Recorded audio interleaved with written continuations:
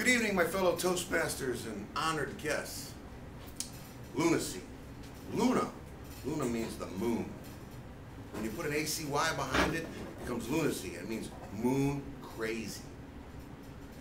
In old days, we used to think that moon crazy referred to when the full moon came out, people acted weird. Today, it had a new meaning. It's got to do with the drug culture. Have you ever had somebody you knew or was a family member who was hooked on drugs, had an addiction, and you just couldn't understand why in the world they kept going back, forth, back and forth to that addiction over and over again? Hopefully I give you a few examples of what I've learned about addictions. I work at Jobs Plus Employment Network, located downtown Cincinnati, the roughest, meanest, toughest part of town. In fact, it was just voted the most toughest neighborhood in the entire United States. One out of every four people get victimized if they go down there. So I make sure that I'm with one or two people, not the fourth. My job is to bring employers to the board who will hire these people who come through our doors. The people who come through our doors, 70% of them are ex-offenders. And of that 70%, another 70% of them are drug-related charges that got them in prison to begin with. My job is to try and help them get employment, not an easy task. I've got to help them break the bondages of poverty. Again, not an easy task. We'll use Joe as an example. Joe did 15 years in prison. He had never ever had a job before in his entire life. So I asked him, Said, what are you going to do when the employer in the interview says, why should I hire you? You have no job experience. What are you going to do? He says, I don't know. What, what should I do? I says, you got to turn a negative into a positive, and here's how you do it. You tell him, hey, I've never been trained to do anything the wrong way. I've never been trained before at all. In fact, you're going to be my first training, and I'm going to do it exactly the way you want me to do it. Exactly. I'm going to be like a piece of putty in your hands, and you can mold me any way you want me, and I'll do it perfectly the way you want it. He says, wow. He says, well, employer, go for that? I says, don't worry. I says, I'm taking you to your first employer who's at the bottom of the barrel of employers. I said, he'll hire anybody as long as you give him an excuse. Okay, okay, I, I, I, think I can do that. And he said, you could just tell his chest went up and he had confidence renewed. So we went on the interview. He says to the interviewer, hi, my name is Joe, blah, blah, blah. They get through all the, through the uh, prerequisites of the interview and the interviewer looks over the resume and he says, you've got no, no work history. Why should I hire you? As quick as you please, Joe said. Well, according to Gary here, you're at the bottom of the employer barrel and you'll hire anyone. and I think we could, we could be a good fit. I had other problems with Joe as well. Before I took him on other interviews, he kept dressing inappropriately. On one occasion, he wore a t-shirt that said, plays well with self. That's not gonna work on an interview. On another interview, and this was, this was with a woman, he had actually said, I'm no gynecologist, but I'll take a look.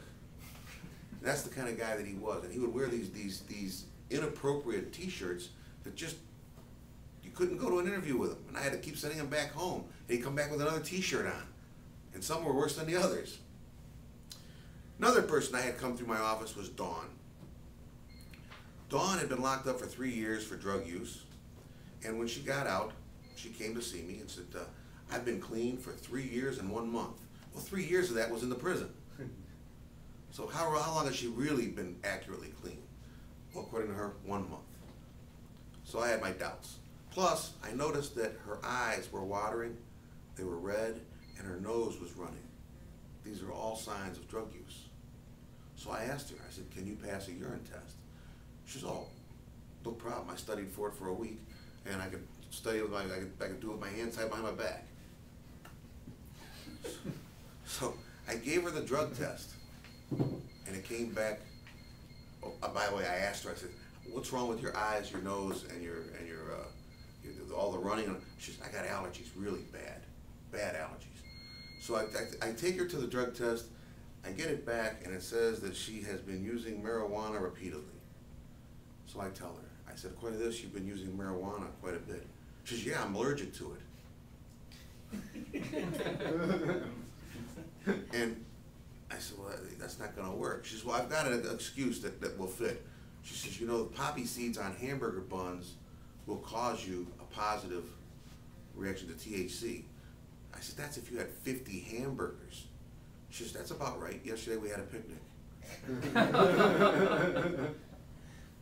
So suffice it to say that Dawn's, Dawn's work experience was, was very limited where I could get her put, where I could get her located at. Bill was another character altogether. He told me that he was completely clean. Said he could take a drug test in the dark with his eyes shut. I give him, I give him the, the urine bottle. He comes back. I put the dipstick in. Comes back positive methamphetamines, positive marijuana, positive crack cocaine. I said, brother, I says, you're positive for all these. I says, you probably have diabetes.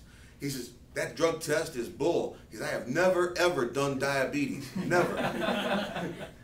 Telling you right now. He says, I don't mess with needles. He says, those people are drug addicts.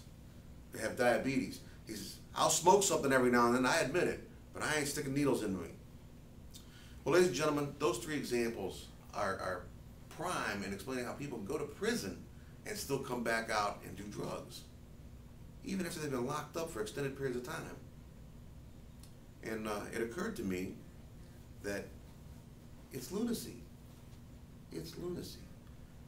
There's an old saying in the drug culture that you you will continuously get what you've always gotten if you keep doing what you've always done, and you'll keep being what you've always been. So my point here in this, this presentation is, what bad habit do you have? Is it your temper? Is it your, is it your inability to, uh, stay off of drugs? Is it your inability to quit smoking, Ron? What is it that you do that you need to fix, that you need to work on to make yourself a better person?